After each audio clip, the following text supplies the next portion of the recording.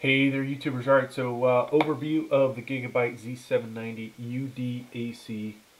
Now I have uh, bought, god at least 15 to 20 12th gen LGA 1700 motherboards. So we're going to kind of give you my thoughts on this motherboard.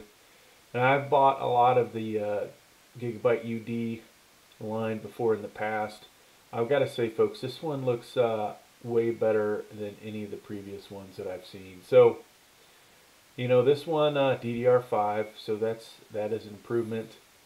Um, occasionally, there's you know the UD or the UDAC, right? So this one's got Wi-Fi, where if it doesn't have the AC on it, there it is uh, the regular version. Uh, they have improved the VRMs in this thing, the power stages. You got 16 plus 1 plus 1 there.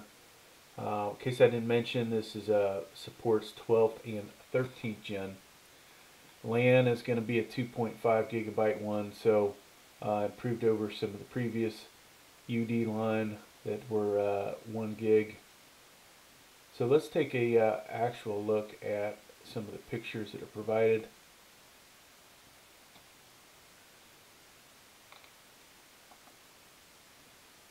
There we go. So, a lot of PCIe slots here, right? This is pretty awesome. Of course, you got the armor plated one here, and you have three other full size plus two of the smaller ones. This is actually laid out decently because you could get a, we'll say a large graphics card, RTX 3090 you know 4090 in here and probably still be able to uh, use this slot. Now since this has Wi-Fi built into it uh, these are not as important you know as they might have been. Of course you can add a additional USB 3.0 card. Uh, you wouldn't need a Wi-Fi card unless your Wi-Fi stops working. For adding additional M.2s you would need one of these full-size slots.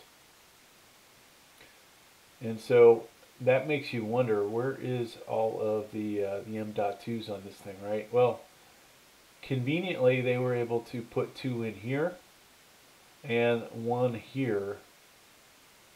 And I don't know if there's any on the underside of this, but uh, three, you know, is a pretty good number. I've I've seen some motherboards with four, uh, which I personally have. And then yesterday, uh, one of the higher end Z790s had five on it, so uh, if you really need that many drives, you know, and as a as a gamer, uh, you think, well, God, I keep filling up one drive, um, and you want to add to it. You don't necessarily want to add, you know, hard drives. Um, you know, you could go out and buy a bigger SD, um, bigger M.2 NVMe, go from, you know, one terabyte to two terabyte, or you could, you know, when you have five of them, you just keep adding to it, right? All right. Here is your uh, socket. Um, of course, those of you not familiar with how they're doing things here, uh, this is a little different than LGA 1151 and 1200 as far as how uh, this opens. Uh, you'll pull this lever and then this actually pivots about here instead of uh, pivoting back here. Two 1 by 8 CPU power connectors. So this thing is uh, set up for some serious overclocking. Now looking over this way, CPU fan, CPU optional, and a set of RGB and ARGB over here. Of course, here's your DDR5 RAM sockets. And for those of you new to building computers, uh, you'll want to put them in A2 and B2 right? So um, you'd almost, why is that done, folks? Well, a lot of times you may have a CPU cooler that overhangs or may even interfere with this first slot. So uh, they have picked basically these two for your, uh, if you're going to just do one pair of RAM. Of course, if you got four sticks, you would fill all, all those out, right? 24 pin PSU connector here, you know, standard, nothing different here from previous generation. So if you're upgrading, you know, and you've got a decent power supply, you're you are uh, set from that aspect. A couple of system fan headers here, so we're at least uh, at two of those. A third system fan header up here.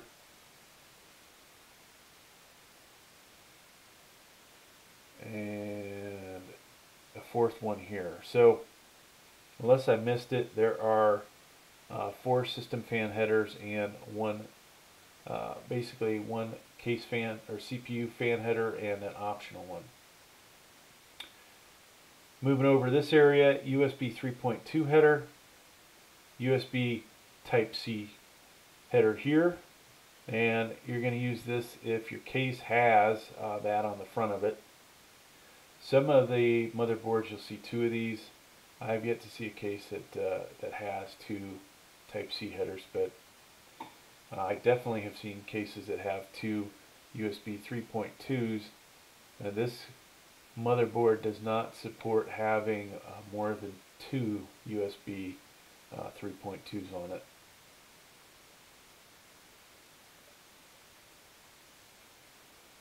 Moving down, six SATA connectors.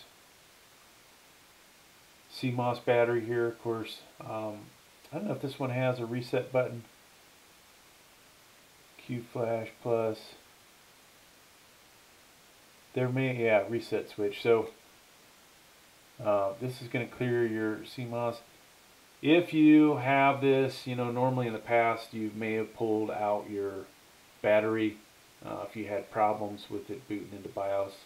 Uh, this one appears to have the the reset switch there so you don't have to screw with that. Here's your front panel connectors uh, to include the speaker one. So of course, power LED, power switch, reset switch, and uh, HDD, plus uh, the speaker should be right here. There was the fan header we already talked about. Two USB 2.0, so this is good if you uh, your case, you know, has uh, at least one USB 2.0 and then of course if you have PCIe card that requires USB let's say the Wi-Fi on this thing stops working you add a PCIe card that does Wi-Fi you would use one of these USB slots. ARGB, RGB again COM. HD audio that's going to come from your case. And folks that is going to do it from this side. Let's uh, let's look at the IOs get this to back out of here. So I'm kind of curious now that we've looked at this if it does have any other SSDs. Sometimes these things are stacked. Um, it's more commonly in ITX, but I would expect this to be one of Gigabyte's cheapest motherboards for Z790, if not the cheapest, right? The only one cheaper is going to be the one that doesn't have Wi-Fi. Um, Alright. They usually call those things out. So let's look at one last photo here.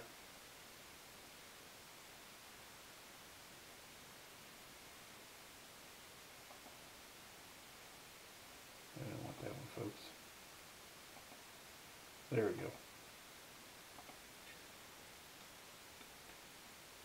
Ugh, why do they have this? So every time I complain about why they have it, somebody will, you know, go, I still use those, but, uh, you know, I'd rather have another HDMI on here. So, the old PS2 style for your keyboard, mouse, USB 2.0, 2.0, so four of those. Here is your Wi-Fi 6, USB 3.2. These look like Gen 1, so you got four of those. DisplayPort, HDMI, Type-C, a USB 3.2. Uh, this should be a Gen 2, but it also may be um, for BIOS update as well. I don't see it listed on that thing. Here's your 2.5 gig.